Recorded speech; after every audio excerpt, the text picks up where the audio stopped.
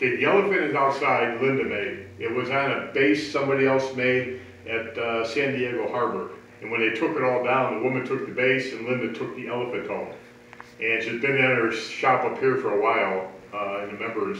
And so I asked her about bringing it down here, but we needed a base, and so I decided to make a base for it.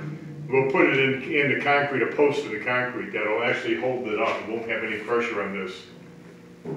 So, but this, I've gotta finish putting it together.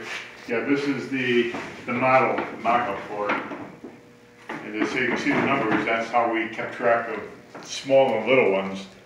So we could, uh, know which ones, we had the small one for the big one. So- And you had some extras there? You say you came up with, Yeah, I don't know how, uh, I must have miscounted. So I ended up with four extra, uh, of them. all right. If nothing else, And then you're gonna have to take a window out to- that it's, yeah, to get it out. And someone has a Chrysler, they can use this as a logo. all right, thank you.